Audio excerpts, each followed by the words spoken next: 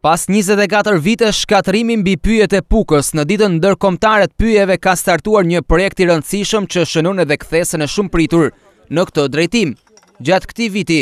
Ministria e Mjedisit do të mbjellë 30.000 fidanë pishe vetëm në Pukë, të cilat sipas kreut lokal të shërbimit pyjor në Pukë, do të kenë impakt të jashtëzakonshëm, ndërsa ky është viti i parë që prej vitit 90 kur ka mbjellje kaq masive. Në kuadrin e Ditës Ndërkombëtare të Pyjeve data njëzet e një mars, seksioni pyjor i Fushë-Arrëz, Pukë,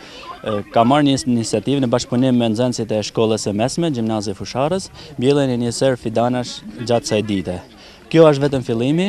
sepse në rrethin e Pukës gjatë këtij viti do mbillen rreth 30000 fidana, e bërë mundur kjo nga një bashkëpunim me Ministrinë e Mjedisit, ku të gjithë fidanet prej 30000 që janë akorduar nga kjo ministri, Dhe do bëhet e mundur mbjellja në mënyrë vullnetare. Ne po mundohemi të japim një mesazh shumë të madh që mbjellja do të jetë elementi kryesor dhe jo shkatërrimi dhe të gjithë komunitetin e ftoj që të bëhet bashkëpunues në mënyrë që pyjet të jenë një objekt që t'i rujmë, t'i zhvillojmë, t'i rrisim sa ma shumë dhe jo t'i shkatërrojmë. Për mbjelljet e pyjeve të rinj janë angazhuar nxënësit e shkollave të mesme, të cilët punën komunitare e kanë pjesë të programit mësimor.